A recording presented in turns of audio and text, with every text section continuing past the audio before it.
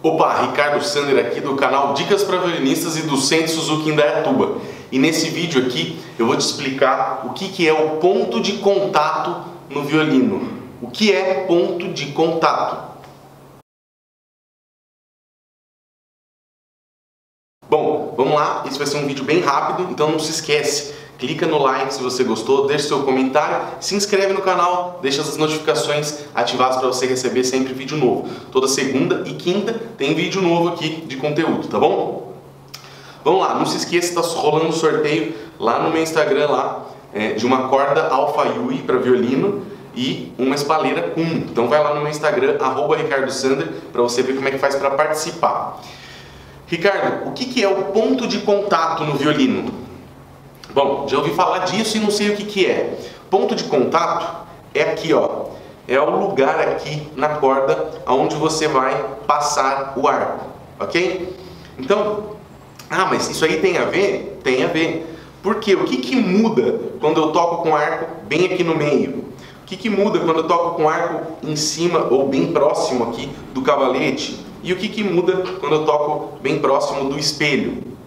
Bom, é, Primeiro, o mais normal de sempre, a maioria das coisas sempre que você vai tocar, você vai tocar é, nesse ponto de contato aqui mais para o meio. Principalmente se você está começando a tocar agora, se você está começando a aprender, você vai estar tá sempre usando esse ponto de contato aqui no meio, entre o cavalete e o espelho, ok? Cavalete e o espelho. Se você não sabe o nome das partes do violino, tem um vídeo aqui no canal que eu falo isso, tá bom?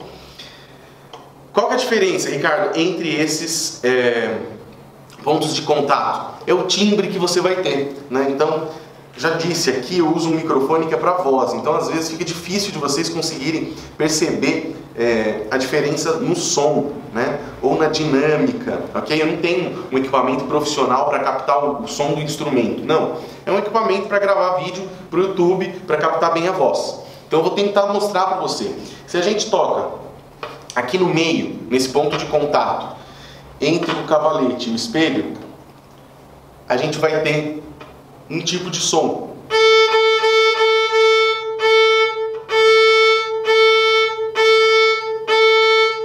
Certo? Se a gente é, vem para perto do espelho, a gente tem um outro tipo de som. Que tipo de som? É o timbre. Muda o timbre. O que, que é o timbre, Ricardo?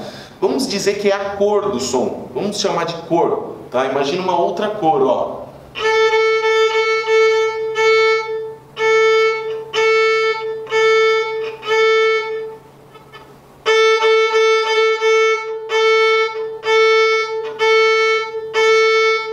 E se a gente chega próximo do cavalete, a gente tem outro timbre.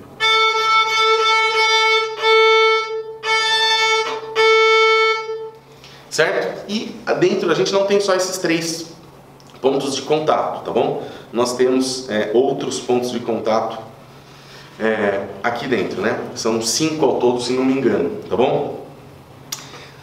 Para que, que serve, Ricardo? Como eu sei quando usar, quando não usar? Bom, conforme você for evoluindo, você vai vendo, né? É, eu aqui quando utilizo né, a minha metodologia de ensino com as crianças, nós vamos tocar a primeira vez fora desse ponto de contato quando eles estiverem no volume 2, tá? Na música Dança das Bruxas, daí eu falo sobre esse assunto e a gente muda, chega mais perto do espelho.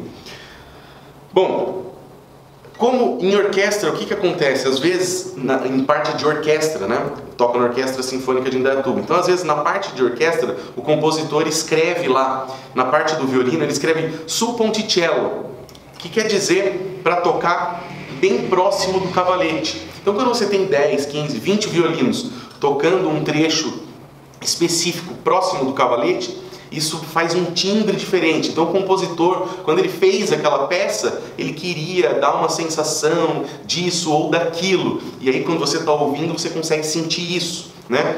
Ou quando ele escreve tasto, né? Que é para tocar em cima do espelho. É aqui, ó, bem próximo, em cima do espelho, com o arco tá bom? Então quando ele escreve isso, por quê? Porque ele também quer um outro tipo de timbre, ele quer aquele, aquele tipo de som para representar alguma coisa que ele estava pensando quando ele escreveu aquela composição, aquela música, tá bom?